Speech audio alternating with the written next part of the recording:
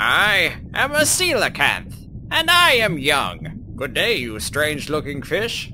I'm hoping to have a good run. These strange things just get bigger every day. And then it evolved a second eye, because depth perception is a bitch. What is that? It's really blurry. Oh, way too late to change direction! Now! Ugh. So that's what I was hitting! Walls!